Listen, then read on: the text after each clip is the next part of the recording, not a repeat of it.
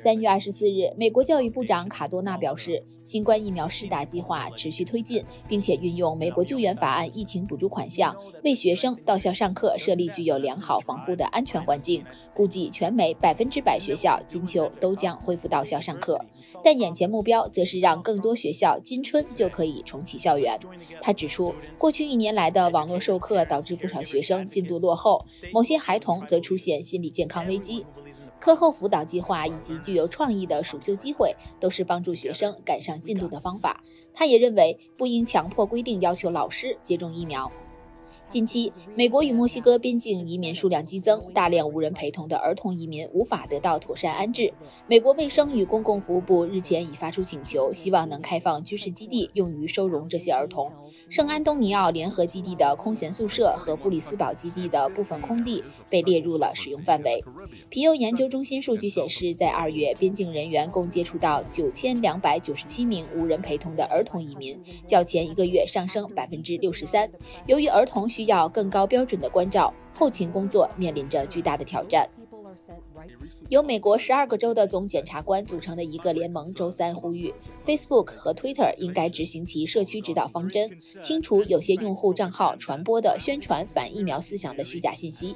该联盟强调，这些信息令人们在疫苗接种问题上变得更加犹豫不决，这将减缓经济复苏，而更重要的是，到最后会导致更多的人不必要的死亡。在这封信发出的一天以后，扎克伯格、多西和谷歌母公司 Alphabet CEO 桑达尔皮查伊将就虚假信息问题向美国国会众议院能源和商务委员会作证。在东京奥运圣火运抵日本三百七十天之后，火炬传递仪式终于将于三月二十五日在福岛县启动。东京奥运圣火于二零二零年三月上旬在希腊奥林匹亚赫拉神庙完成采集，在完成交接仪式后，圣火于当月二十日抵达日本。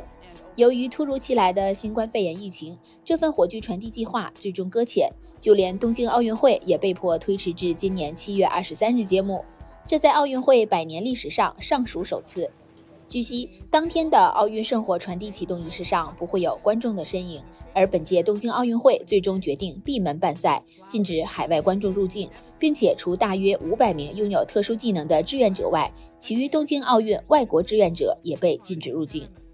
美国指控中国在新疆侵犯维吾尔少数民族人权。近日，联合西方盟友制裁中国后，中国国务院新闻办公室二十四日发布《二零二零年美国侵犯人权报告》反击，列举美国六大罪状，包括疫情严重失控酿成人间悲剧，美式民主失序引发政治乱象。种族歧视恶化少数族裔处境，社会持续动荡威胁公众安全，贫富日益分化加剧社会不公，践踏国际规则造成人道灾难。